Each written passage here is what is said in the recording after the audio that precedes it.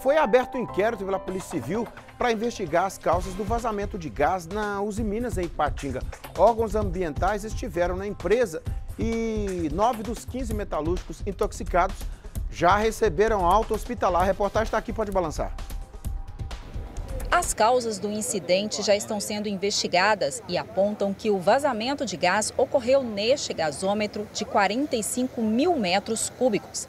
As análises, segundo a Polícia Militar de Meio Ambiente, mostraram que o tipo de gás que vazou é o BFG, produzido durante o processo de fabricação do ferro gusa no alto forno da siderúrgica. Quando aconteceu esse vazamento, que a Polícia Militar tomou conhecimento desse vazamento, a preocupação maior nossa, né, foi justamente saber é, o tamanho desse vazamento, que gás havia vazado, até para a gente poder é, alertar a comunidade, né, especialmente as pessoas do entorno ali é, da usina. O que nos foi informado ali que possivelmente né, havia ocorrido uma, uma falha técnica é, no sistema ali que é, faz a, a selação, né, a vedação é, do gasômetro, e que havia então ali ocorrido um vazamento é, desse gás.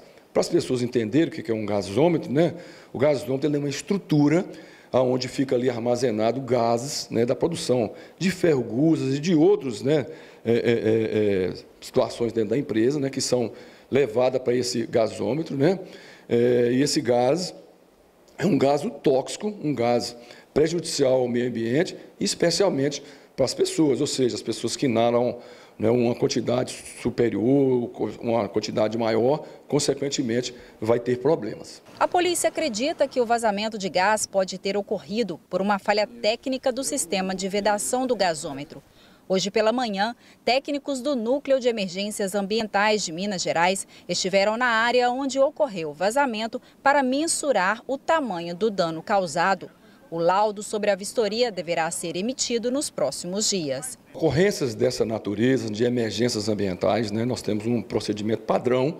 A Polícia Militar, de imediato, é, aciona o Núcleo de Emergências Ambientais do Estado, né, é uma equipe técnica qualificada, né, que já está aqui no Vale do Aço, está exatamente nesse momento lá no, no, no interior da empresa, na equipe, juntamente com núcleos de crimes ambientais do Ministério Público, né, estão lá juntamente com a Polícia Militar, é, uma equipe técnica qualificada, como já disse, né, para justamente é, ter aí né, umas informações mais precisas de, que de fato aconteceu e também medir as consequências, medir os danos, né, saber quanto gás que vazou ao meio ambiente, até para que se possa ali tomar uma providência né, e alertar, dar conhecimento aí é, a a comunidade né, de que de fato aconteceu. Dependendo do resultado destes laudos, a empresa pode ser responsabilizada? Sim, com certeza. Né?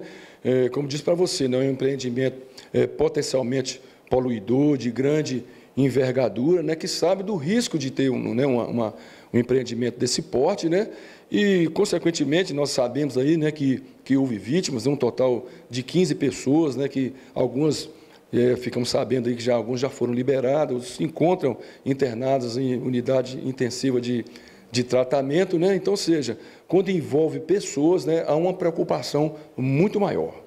O Ministério Público de Minas Gerais instaurou um procedimento investigatório criminal para apurar as ocorrências de crimes ambientais e de lesões corporais. Nesta quinta-feira, o Núcleo de Combate a Crimes Ambientais esteve na área da siderúrgica para ajudar nas investigações. O vazamento de gás ocorreu na noite da última terça-feira. De acordo com a siderúrgica, 15 funcionários inalaram o gás e precisaram ser hospitalizados. Até a manhã de hoje, nove deles tinham recebido alta hospitalar. Outros seis ainda estavam internados, um deles em estado grave. É, a Polícia Civil tem uma nota aqui, a Polícia Civil abriu um inquérito para investigar o caso em relação às lesões corporais sofridas pelos funcionários e por meio de nota, os Minas esclarece que as imagens divulgadas nesta quinta mostram o cumprimento de protocolo de segurança é, por trabalhadores que atuam, atuavam né, próximo dos altos, altos fornos em função de uma queda de energia originada na geração da usina hidrelétrica de Belo Monte, no Pará. É, conforme protocolo automático do operador nacional, diz a nota do sistema elétrico, vários consumidores é, industriais passam a ter a disponibilidade de energia reduzida. E nesse caso específico, demandou a parada do alto forno 3, né? E continua a nota. Sempre que. Como é que é a história aí, já? Ah, tá. Sempre que ocorre isso aí, os Minas informam ainda que, até o momento, 10 pessoas tiveram alta do hospital Márcio Cunha. É isso, né, equipe? Três outras pessoas que estavam sob cuidados intensivos saíram da UTI e foram transferidas para quartos. Duas outras pessoas seguem na UTI, uma delas em estado grave. Está aí. A nota deu uma paradinha no meio lá, mas deu para explicar direitinho o que foi dito pela Uzi Minas aí.